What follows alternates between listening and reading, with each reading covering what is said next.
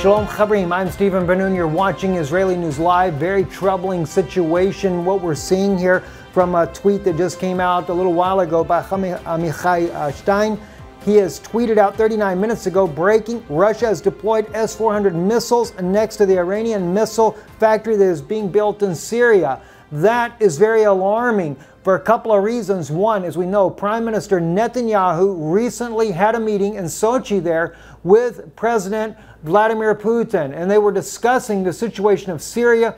And of course, uh, the Prime Minister was making it very clear to President Putin there that uh, Israel cannot stand for the Iranian military to be replacing ISIS in the country inside of Syria. Israel would not tolerate this. Now, if this information, if this uh, footage that we're seeing right here proves out, this aerial photo to proves out to actually be true, that the Russian government has put an S-400 systems, not one but two of those, on either side of the factory there that is being uh, built there by the Iranian government, and Israel were to try to take out this factory being stopped by the Russian government, this could cause a direct clash between Israel and that of Russia.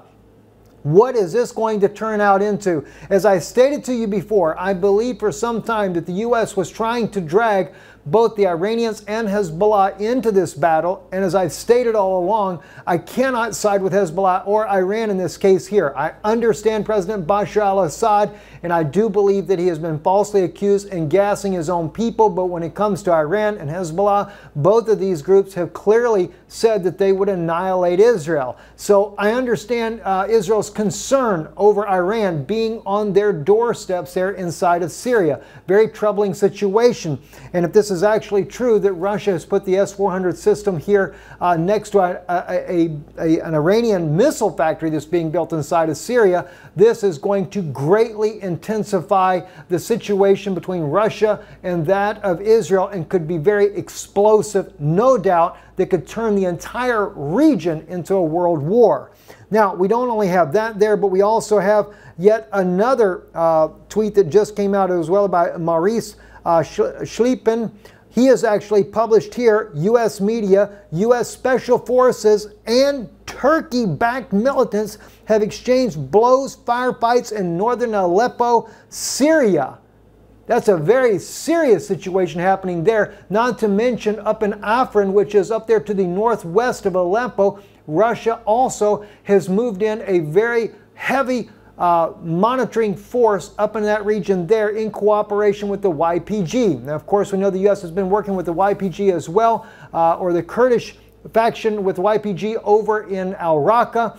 Uh, the U.S. there also protecting them from the Turkish, but now we see that the Russians are doing the same. So the Kurds are getting protection from both Russia and the United States, but now the U.S. has actually engaged uh, with a firefight, according to this report here, that is coming out with Turkish backed militants in the region there. Have to wait and see how this develops. We'll try to update you more on this. We'll be speaking here tonight in uh, Huntsville, uh, excuse me, Huntsville, Alabama. And we've gotten uh, quite a few emails from you guys out there that are coming. I think we can accommodate everybody that's emailed me thus far there. It seems like we got about 20, 25 people coming there. That's pretty, pretty much going to probably max out what we have, but we are looking forward to seeing many of you that are coming here to meet with us tonight. Hopefully we're going to get into the DNA issue as well, kind of a little overview of what's happening, that with North Korea as well. President Trump, they're stepping up the military drills on uh, North Korea's southern border there with South Korea there, only intensifying the problem, I think making it even worse. But then again, North Korea, they're not backing down. They continue to do missile tests, and the latest one, of course, going over Japan itself. That's a major threat for Japan. So you can't really blame President Trump if they were to go in there uh, and do something about it. But at the same time, are we being more provocative by these constant drills on his border? But I don't know. I don't think Kim Jong un would change his policy. It doesn't matter if we're doing drills or not doing drills. But the big issue is will it draw China? Will it draw Russia into a direct conflict as well? Not to mention Zapad exercises. They're getting ready to gear up. Russia claiming only about 13,000 troops being involved. America claiming about 100,000 being involved. I don't believe that Russia's right on their figures. I do believe it's going to be much higher. Whether or not it goes up to quite 100,000, can't say for sure myself. Uh, But nonetheless, it's becoming a very tense situation. Russia also moving in a lot of military equipment into Crimea because they're concerned about NATO's drills as well. So Russia's not taking any chances, NATO not taking any chances. All it takes is one wrong move and it could turn the entire world into a powder keg.